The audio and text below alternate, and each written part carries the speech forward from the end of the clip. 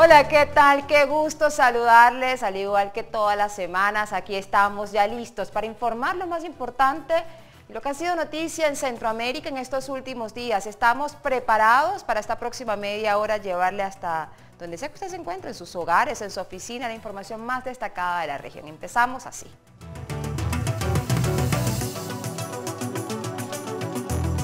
Bueno, en esta oportunidad vamos a empezar en Nicaragua. En este país los diputados oficialistas y magistrados de la Corte Suprema ya empezaron a darle forma al proyecto de ley que buscaría, según eh, pues, las denuncias de la oposición, bloquear a los nicaragüenses el acceso al Internet y las redes sociales.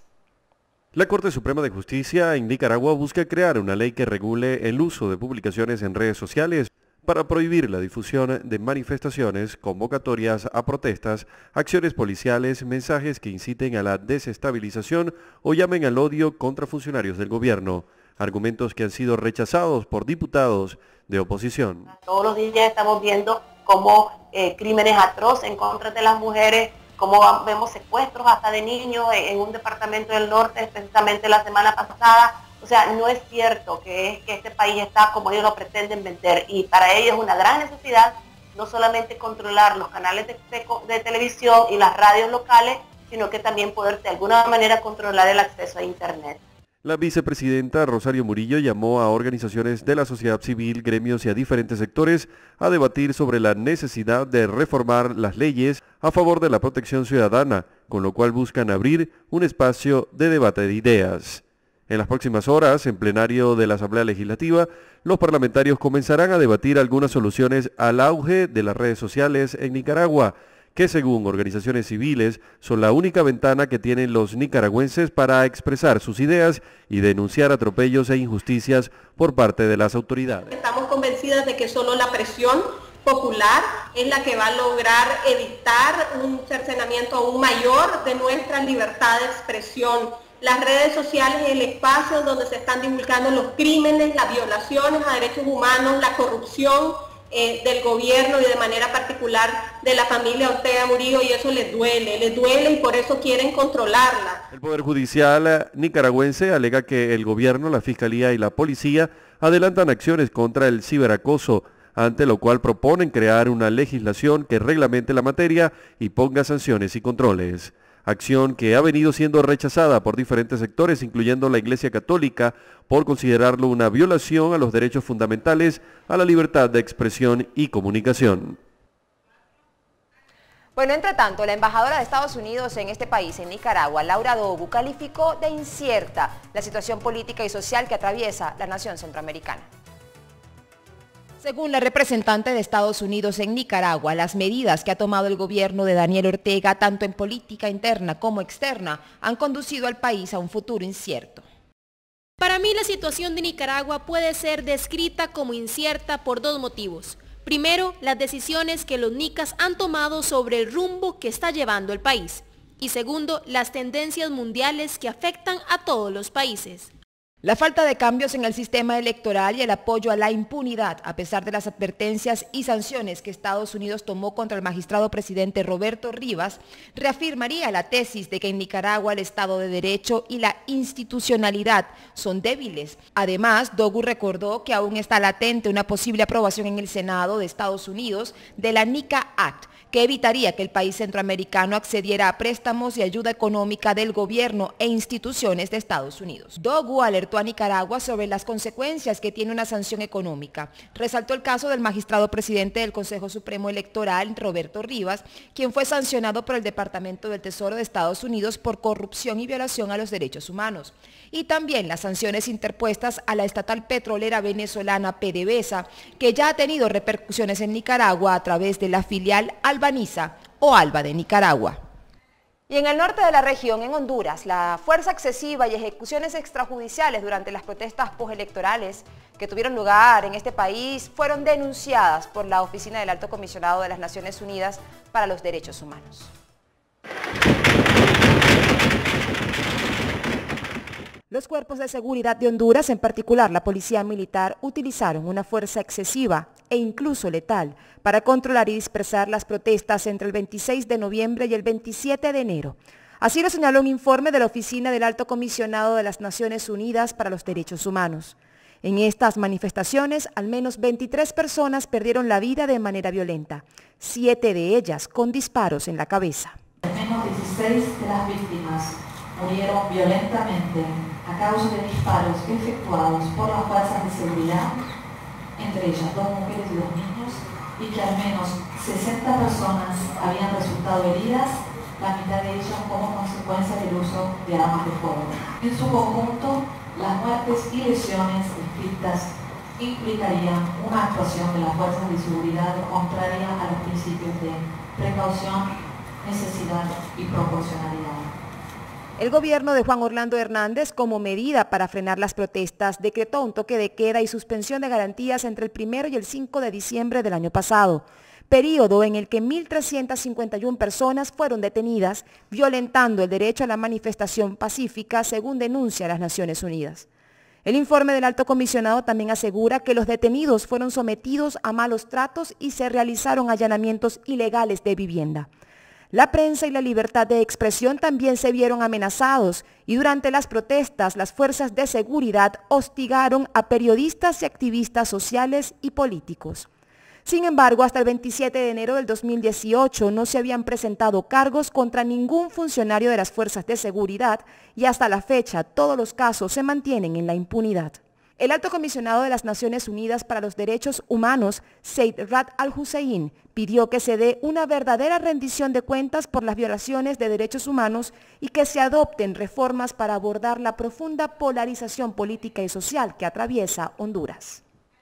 Bueno, ¿y qué tienen en común San Pedro Sula, Tegucigalpa, Ciudad de Guatemala y San Salvador, además de ser ciudades de Centroamérica, específicamente del Triángulo Norte? Bueno, todas estas urbes descendieron uno o más puestos entre el 2016 y 2017 en el más reciente índice de las ciudades más peligrosas del mundo. La cantidad de homicidios en las principales ciudades de Honduras, El Salvador y Guatemala redujeron. Esto según un informe publicado por la ONG mexicana Consejo Ciudadano para la Seguridad Pública y Justicia Penal que destaca la mejoría en la seguridad de estas ciudades. En San Pedro Sula, en Honduras, esta ciudad pasó de tener una tasa de homicidios de 112 por cada 753 mil habitantes en 2016 a una tasa de 1.18 por 765 mil en 2017 esta reducción logró que la ciudad hondureña pasara del puesto 3 al puesto número 26 del ranking de ciudades más peligrosas del mundo elaborado por la ONG. En el caso de Tegucigalpa también se presentó una mejoría, al pasar del cuarto puesto del informe anterior al lugar número 35 en 2017. La tasa de muertes violentas pasó de 85 por cada 1.200.000 habitantes en 2016 a 48 por la misma cantidad de habitantes en 2017. El informe de la ONG mexicana atribuyó la reducción en la tasa de homicidios al esfuerzo de los gobiernos en la región por erradicar a grupos criminales, reducir la impunidad y actuar contra los delitos distintos a los homicidios que cometen las pandillas, así como poner orden en las prisiones. San Salvador, por su parte, pasó de tener una tasa de homicidios de 83 por cada 1.700.000 habitantes en 2016 a 59 por la misma cantidad de habitantes en 2017, lo que refleja una reducción del 29,17%. Llama la atención el caso de Ciudad de Guatemala, donde a pesar de bajar de la casilla 23 a la número 24 en el listado, la cantidad de homicidios aumentó de 1.596 por cada 3 millones de habitantes en 2016 a 1.705 en 2017, es decir, la tasa de muertes violentas aumentó en un 101%. La ciudad considerada como la más peligrosa del mundo por la ONG en 2017 es Los Cabos, en México, donde por cada 328.000 habitantes, 365 fallecen de forma violenta. Esta ciudad ingresó por primera vez en el ranking ocupando el primer lugar. La violencia causada por el crimen organizado y el narcotráfico es uno de los principales problemas en Centroamérica, cuyos países son utilizados para el paso de la droga que llega de Sudamérica con destino a Estados Unidos. Bueno, vamos a cumplir con los primeros compromisos comerciales. A la vuelta vamos a conversar sobre qué pasó en El Salvador tras la derrota electoral de las pasadas elecciones del 4 de marzo. Ya venimos.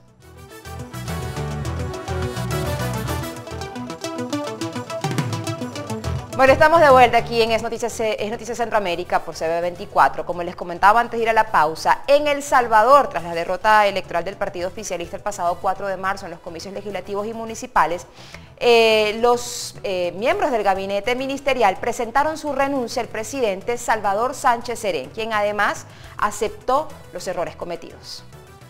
El partido Frente Farabundo Martí, o FMLN por sus siglas, fue el gran perdedor de la pasada contienda electoral en el que el partido opositor Alianza Republicana Nacionalista Arena obtuvo la mayoría de los escaños en el Congreso y ganó la mayoría de las alcaldías.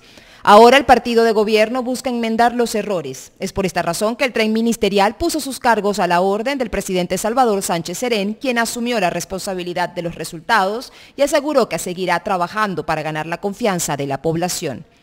He recibido cinco informes de cinco gabinetes. En estos informes hay un resumen de las principales deficiencias en la ejecución de nuestros planes. O sea, nosotros reconocemos de que la población ha sido testigo de que hemos sido deficientes en la ejecución de algunos, de algunos programas, de algunos planes. El reto que enfrenta el partido oficialista con tan solo 23 escaños de los 84 que hay en el Congreso y 66 alcaldías de las 282 que tiene el país es muy grande. Es por esta razón que el mandatario salvadoreño realizará cambios en el gabinete y creará un equipo ejecutivo que estará encabezado por el vicepresidente Oscar Ortiz para analizar así los movimientos a realizar. Y el presidente de Costa Rica, Luis Guillermo Solís, quien entregará el poder el próximo 8 de mayo, sancionó y firmó la ley que prohíbe el nepotismo en la Asamblea Legislativa.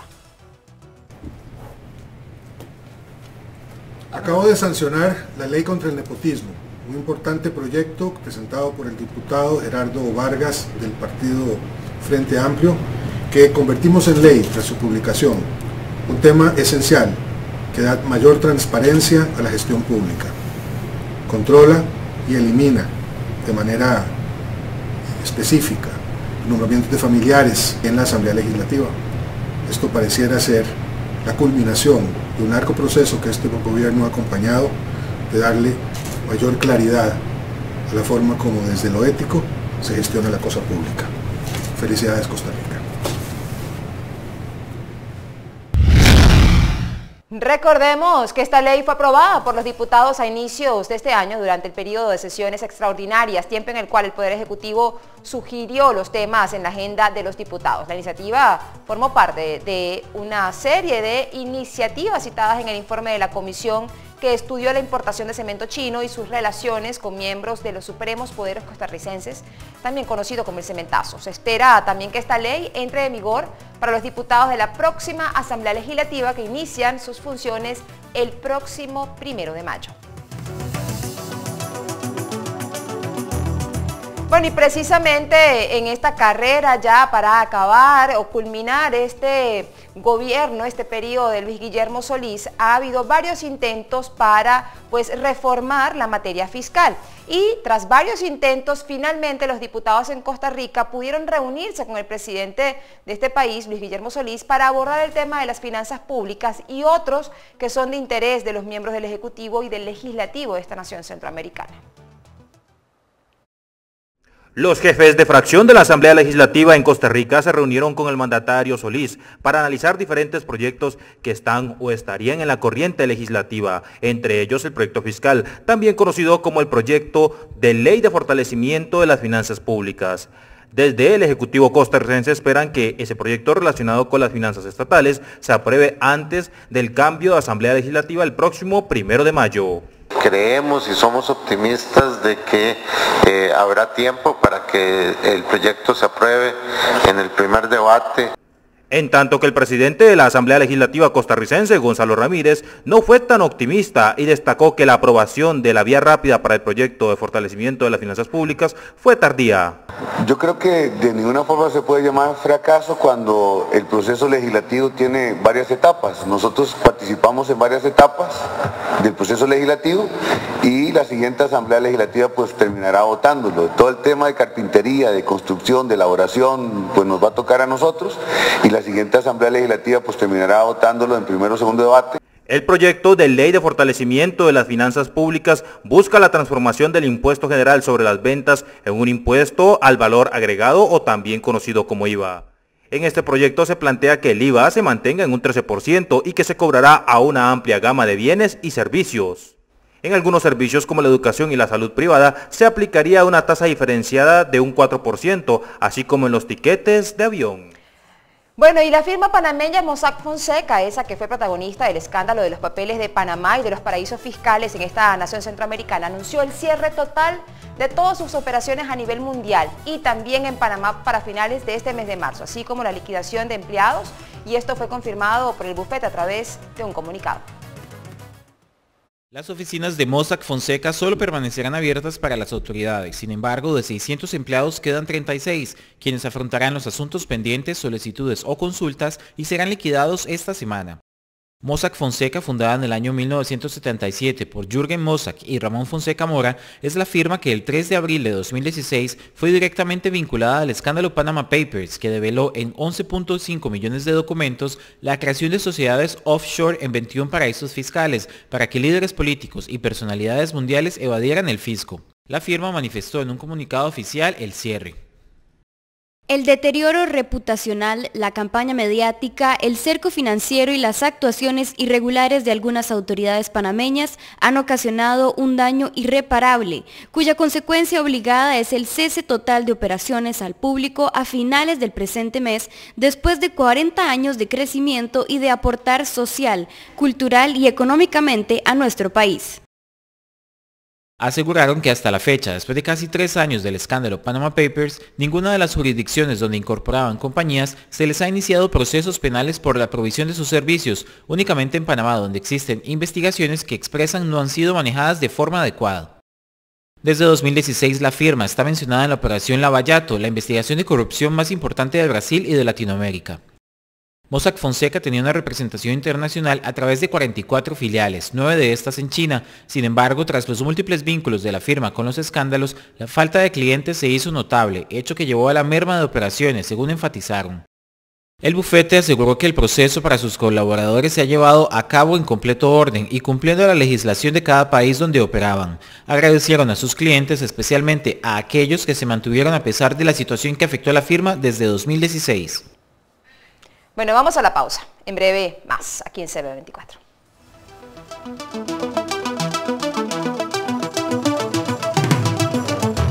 Antes de irnos, en el foco de la noticia tenemos que la Asociación de Fiscales de Guatemala realizó un llamado a la jefatura del Ministerio Público para que en los casos de corrupción que se están investigando se respete el derecho a la presunción de la inocencia. La fiscal general Tel Maldana aseguró que revisará estos señalamientos al tiempo que resaltó que todos los procedimientos que ha llevado a cabo el Ministerio Público han estado apegados a derecho.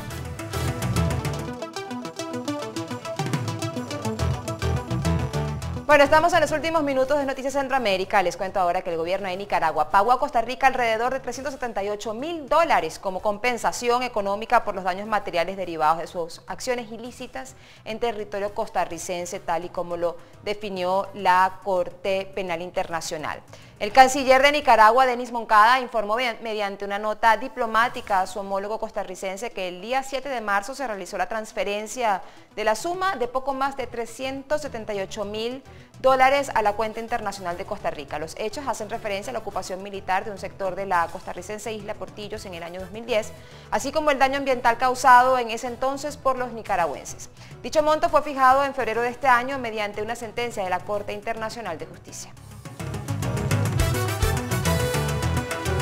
Bueno, más de 125 mil migrantes salvadoreños en Estados Unidos han renovado ya su estatus de protección temporal o TPS por sus siglas en inglés eh, a pocos días de que llegue el 19 de marzo. Es que hasta el lunes 19 de marzo, este lunes 19 de marzo es la fecha límite para que se tramite por última vez esta reinscripción según las fuentes oficiales. Veamos.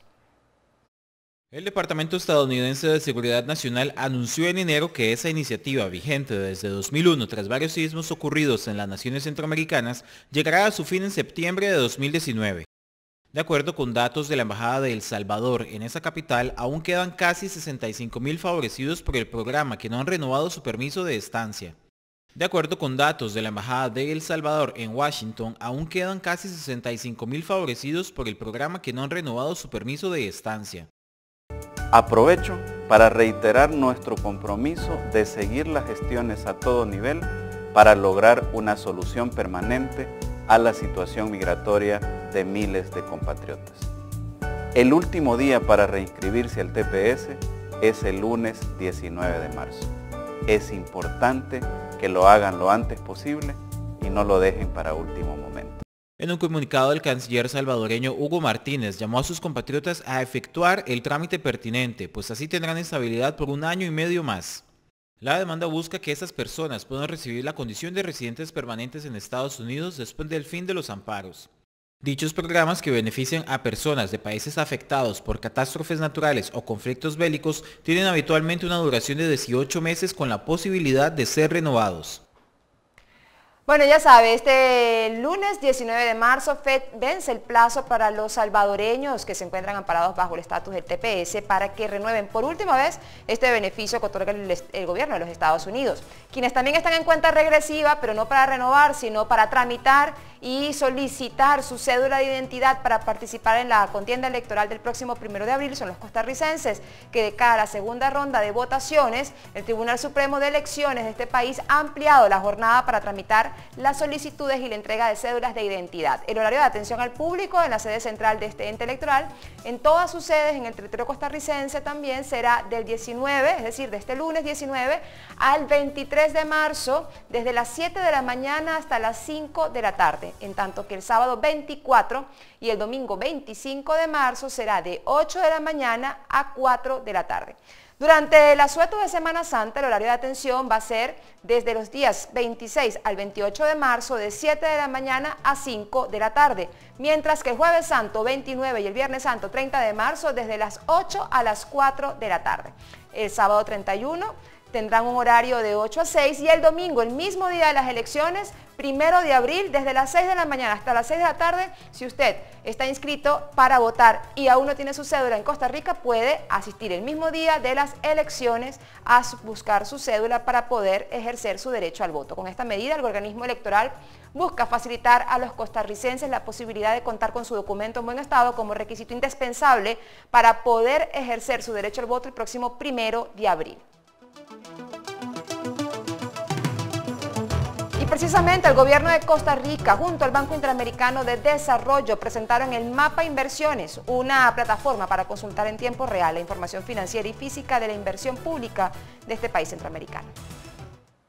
La iniciativa busca mejorar la transparencia y la eficiencia en los países de América Latina y el Caribe a partir del desarrollo e implementación de plataformas de gestión de la información, esto según autoridades del Banco Interamericano de Desarrollo. Esta herramienta tiene como objetivo fortalecer la capacidad de las instituciones públicas y la toma de decisiones, así como generar mejores canales para el control social y la rendición de cuentas. Mapa Inversiones contiene un módulo de participación ciudadana, algo no visto en este tipo de proyectos. Con esta herramienta, en un esfuerzo conjunto de los ministerios de la Presidencia, Hacienda, Obras Públicas y Transportes y Planificación Nacional y Política Económica de Costa Rica, los proyectos ya están disponibles para que las personas fiscalicen la utilización de los recursos y realimenten el avance de las obras. Mapa Inversiones permite a la ciudadanía monitorear en tiempo real dónde y cómo invierten los gobiernos, que los gobiernos cuenten con información de calidad para poder tomar decisiones que mejoren la eficiencia de las inversiones públicas y que las compañías mejoren su competitividad al actuar en un entorno de información abierta. Autoridades de Mideplan afirmaron que Mapa Inversiones responde al esfuerzo por construir un Estado más moderno, eficiente, transparente y participativo y al cambio demandado por los costarricenses. Esto significa que los datos que las instituciones deben reportar internamente son actualizados todos los días en la plataforma. Ahora los costarricenses sabrán en tiempo real en qué se invierten sus impuestos. Bueno, con esa información hemos llegado al punto final de esta entrega informativa. Siempre es un placer poder mantenerle informado de todo lo que pasa en Centroamérica. Recuerda, ahí están nuestras redes sociales para que usted también interactúe con nosotros y nos informe de lo que pasa en su país, en su capital, en su localidad. Ha sido un placer, de verdad, haberles acompañado y nos vemos en una próxima entrega. Chao.